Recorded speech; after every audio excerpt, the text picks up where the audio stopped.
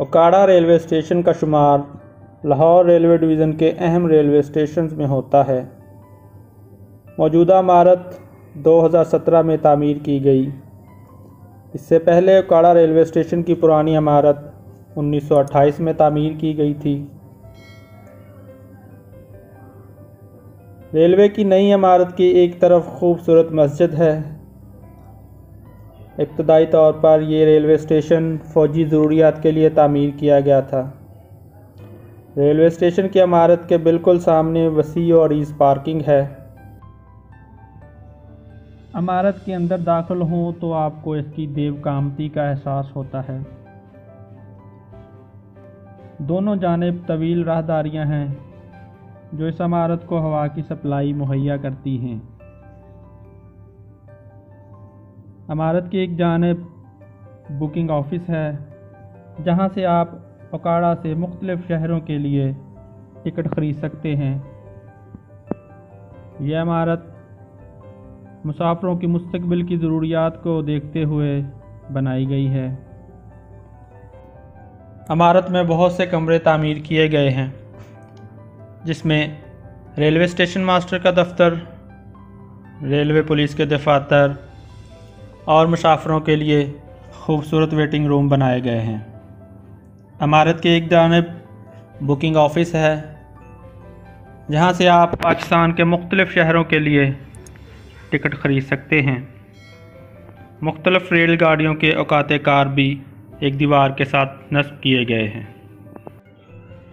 Okara railway station पर छः up और छः डाउन गाड़ियाँ रुकती हैं, जिनमें Multan express Jaffar express, Tezgam express, Allama Iqbal express, Khyber mail और आवाम एक्सप्रेस शामिल है। ये तमाम रेलगाड़ियाँ दो दो मिनट का स्टॉप करती हैं।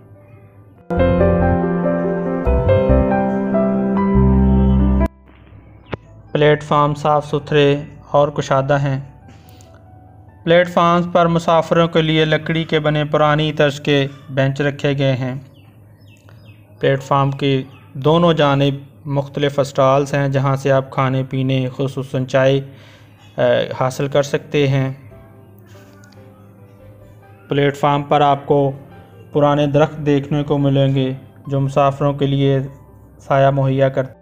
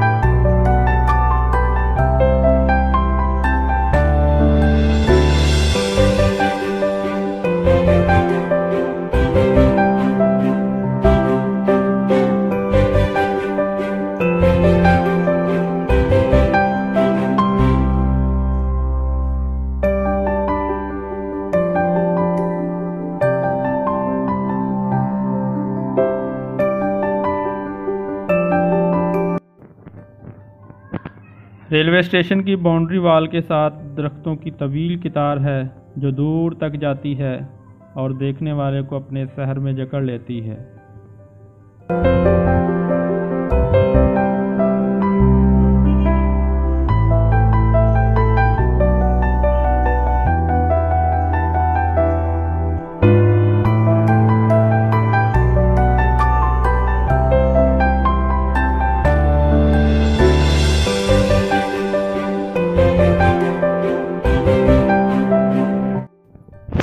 आप मेरे चैनल पर वीडियोस देखते हैं, अगर आपको ये वीडियोस पसंद आए तो उनको लाइक कीजिए, शेयर कीजिए, और चैनल को सब्सक्राइब ज़रूर कीजिएगा।